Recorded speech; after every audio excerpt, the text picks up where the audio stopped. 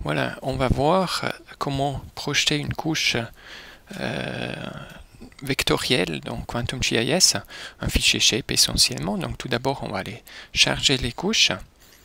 Donc euh, j'ai d'un côté les cantons suisses. Voilà, je vais ouvrir ça, et voilà.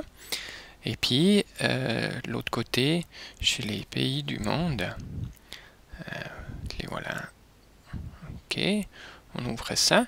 Et puis maintenant, ben, si on euh, regarde tout, ben, on voit essentiellement la Suisse là, qui, est, tout grand, avec des coordonnées. On voit les coordonnées ici en bas.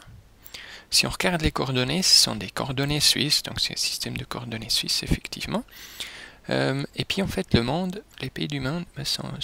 Oups, là, je les ai loupés. Ils sont là, quelque part, tout, petits. Hmm, c'est les pays du monde. Et voilà. Avec des coordonnées, si on regarde euh, ici en bas, euh, c'est des coordonnées latitude-longitude.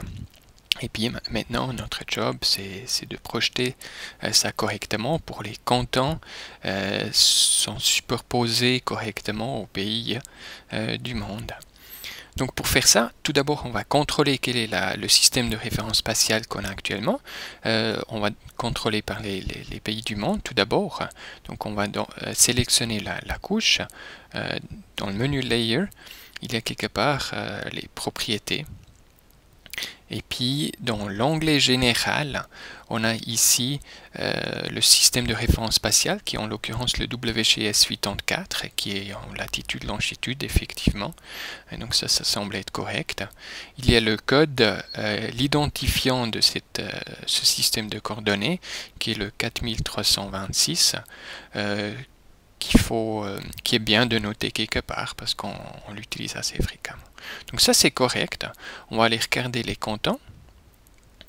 Ok, euh, euh, on sélectionne. On va dans Layer, euh, Propriété aussi. Et puis là, tiens, euh, on a aussi du WGS 84, mais on a vu avant les coordonnées, c'est des coordonnées suisses, donc ça c'est faux. Donc on va définir le système de coordonnées pour cette couche en appuyant sur le bouton Specify CRS. Coordinate Reference System. Et puis c'est là qu'il faut chercher la, bonne projection euh, dans la liste. Moi je l'ai ici dans les euh, systèmes de référence récents.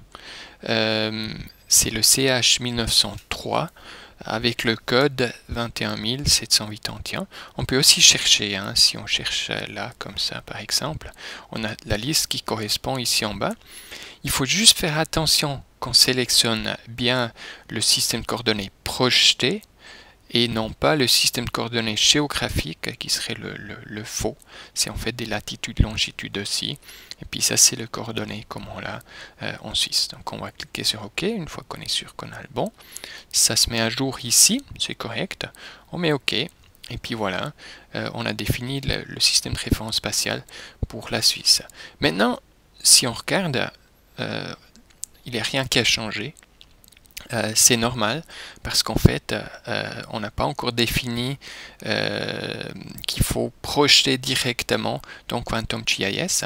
Ça se fait dans le menu Settings, si on va là-dedans, dans les propriétés du projet, le premier point ici, dans l'onglet Coordinate Reference System, on peut en fait définir qu'il faut activer la, projection à la volée. Donc on va cliquer ça. Et puis, il faut là euh, sélectionner le système de coordonnées qu'on souhaiterait avoir euh, sur la carte là derrière. Donc, euh, on va sélectionner latitude, longitude, le WGS 84. ok, voilà. Puis maintenant, ben, la Suisse est là disparu en quelque sorte. Si je zoome sur tout, ben, ça c'est bon. Si je vais regarder sur la Suisse, ben, il est toujours pas là mais ça c'est parce que les cantons sont sous les pays. Ici, je change l'ordre, et puis ben, du coup, la Suisse au bon endroit. Maintenant, euh, on a fait la projection, mais en fait, on n'a pas changé le fichier lui-même, le fichier shape. Donc là, on projette à la volée, juste à l'intérieur de QuantumGIS, à l'affichage en quelque sorte. Donc pour avoir un fichier euh, qui a la, bonne projection, qui a une projection euh, WGS 84 pour la Suisse aussi, en fait, il faut projeter la couche elle-même. Et puis ça, on, fait, on clique sur la couche ici pour qu'elle soit sélectionnée.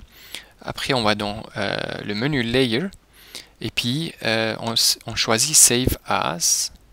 Voilà. Et puis, on va enregistrer ça dans un nouveau fichier Shape. Je vais enregistrer ça ensemble avec les comptants. Ok, je vais appeler ça comptant WGS84 parce que ça, ça va être la projection. Et puis, j'aimerais bien enregistrer en Shape, donc .shp. Voilà. Euh, et puis ici, il y a le CRS, le système de référence spatiale. Et puis, c'est là que je dois aller sélectionner euh, le système de coordonnées que j'aimerais avoir pour cette nouvelle couche qu'il va créer. Et puis, je vais aller sur Browse. Et puis, je vais sélectionner le WGS 84 à cet endroit-là. Je clique OK. Donc, il met ça à jour. Et puis, je vais dire ça OK. On y va. Ben, il l'a fait je peux aller ajouter la couche, du coup. Donc, content qui a été créé ici. Open, euh, voilà. Et puis du coup, ça c'est au bon endroit. Euh, je peux aussi aller regarder encore une fois dans les propriétés euh, pour être sûr. Voilà, ici, ça c'est défini. si je vais regarder sur le système, sur le disque dur. Voilà le disque dur. Le fichier, la couche qu'il a créé, le fichier shape, c'est tout ça, ces cinq fichiers. Et puis en fait, euh, ça, ça fait, il faut prendre euh, tous les fichiers toujours. Ça fait l'ensemble euh, d'une couche, d'un fichier shape, si on, veut dire comme ça.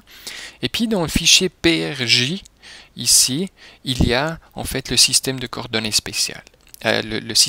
De coordonnées euh, spatial, système de référence spatiale. Et puis, si on regarde le fichier des comptants que j'avais à l'origine, je n'avais pas ce fichier PRJ. Et puis, en fait, c'est pour ça qu'il a mis par défaut en WGS84 et puis il n'a pas reconnu en fait que c'était la projection suisse. Euh, c'est pour ça qu'on a dû définir d'abord quelle était la projection. Donc, prenez toujours tous les fichiers, euh, copiez-les, gardez-les précieusement. Euh, ça fait l'ensemble de toute la euh, toute la couche.